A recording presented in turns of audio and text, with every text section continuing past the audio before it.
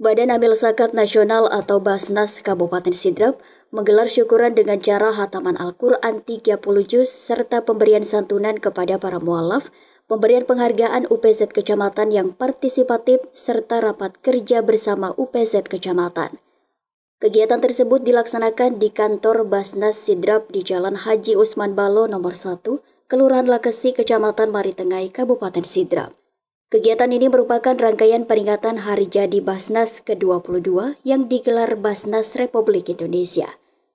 Acara Hatam Al-Quran ini berlangsung hikmat dan dihadiri beberapa perwakilan pondok pesantren di Kabupaten Sidrap, seperti Tahfiz Masjid Agung, Tahfiz Pepabri, Tahfiz Nona Nonae, Pondok Pesantren Talawe, Pondok Pesantren Asalman, serta Pondok Pesantren Al-Urwatul Wudsko Benteng.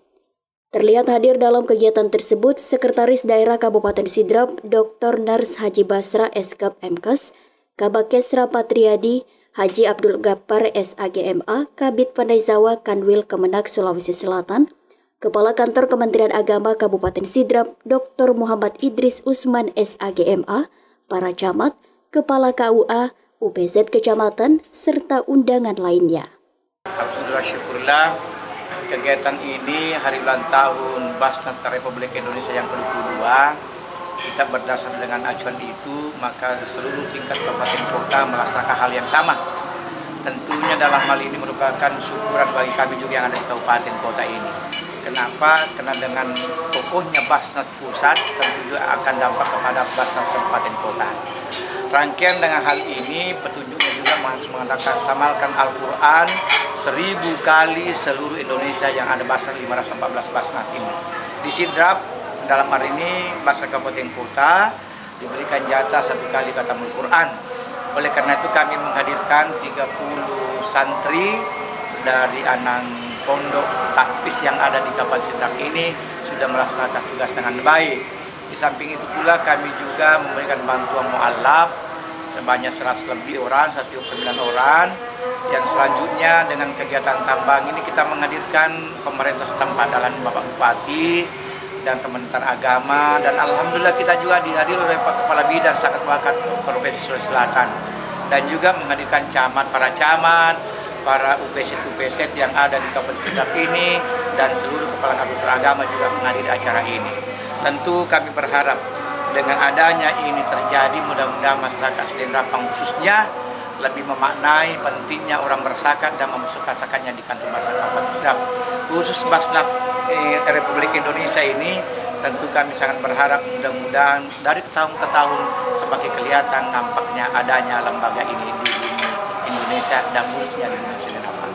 Jadi kegiatan ini juga kita jadikan sebagai momen eh, bentuk transparansi Basnas kepada publik khususnya dalam hal uh, pengumpulan dan pendistribusian zakat.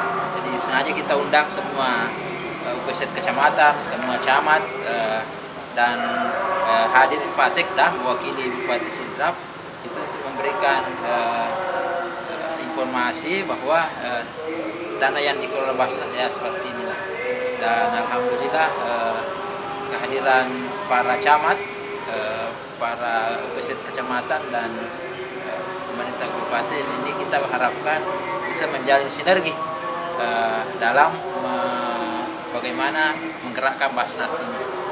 Kemudian uh, kita juga tambah agenda rapat koordinasi persiapan menyambut bulan suci Ramadan karena bulan Ramadan itu tempat yang uh, banyak dimanfaatkan masyarakat untuk uh, berbagi dan kehadiran mereka ini ya, kita harapkan sinergi nanti bulan Ramadan dan kita merencanakan kegiatan bersama-sama eh, khususnya pada bulan suci Ramadan yang akan datang. Perlu kami sampaikan bahwa kegiatan kita hari ini adalah seperti yang disampaikan oleh rekan kami tadi adalah peringatan ulang tahun Basmas yang ke-22.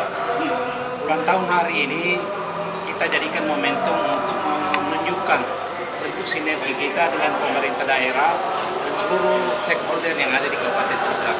Kenapa?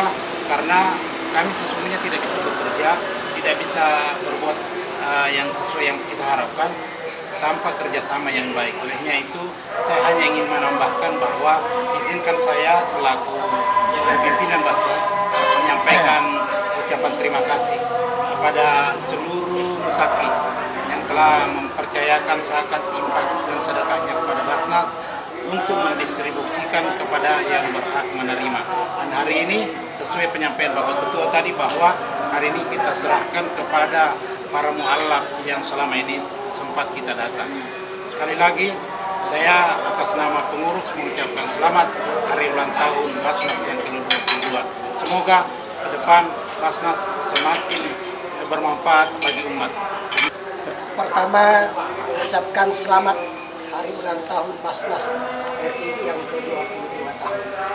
Semoga dengan usia yang begitu ceria, insya Allah semakin menambah semangat, berhikmat, berpastabikul khairat di Badan Amil Zakat Nasional.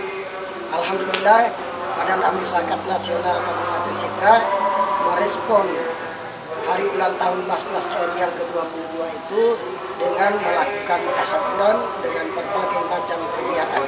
Antara lain, kita semua menyaksikan bagaimana anak-anak kita dari Pondok Tahfiz Al-Quran melakukan hatamul Quran ya, dan pemberian eh, santunan kepada santri apa yang tidak beruntung sebanyak enam orang ditambah dengan pemberian santunan kepada mu'alaf yang kurang lebih 120 orang dari seluruh kabupaten Sidrap ini.